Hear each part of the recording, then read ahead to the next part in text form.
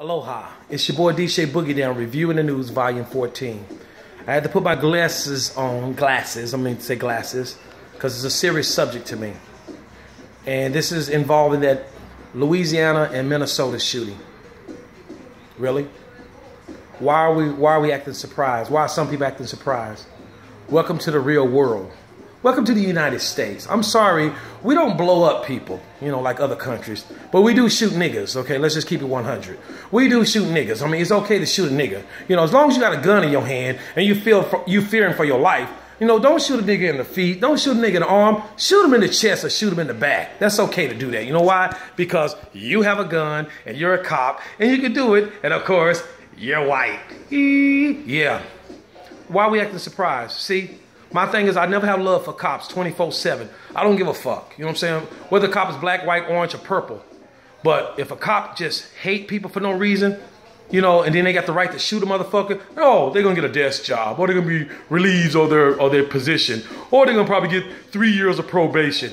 But why a family member is crying over somebody that's dead. Oh, the family will settle out of court for like a couple of million dollars because they know the family never seen two million dollars in their lives while that person is still dead.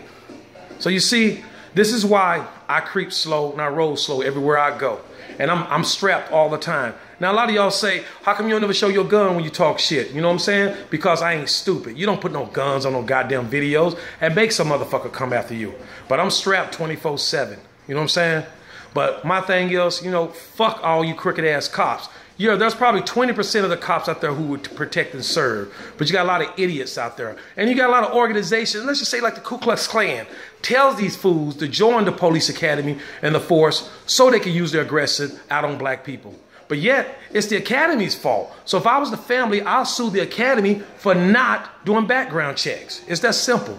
Everybody know how it works, man. So my love and heart goes out to the families in Minnesota and Louisiana. But any of you motherfuckers don't like what I say, man, I don't give a fuck. You can't do shit to me. It's that, it's that simple. You know what I'm saying?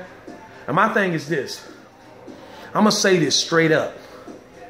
When y'all think y'all fucking us, it feels good to fuck y'all back. And you know what I mean. It's your boy DJ Boogie Down, reviewing the news, volume 14. Much love to the families of Louisiana and Minnesota. Keep your head up. Believe in God. Keep going straight like myself. And for any prejudiced motherfuckers don't like what I gotta say, it's simple as that, baby. Kiss my ass. I don't give a shit. It's real, baby.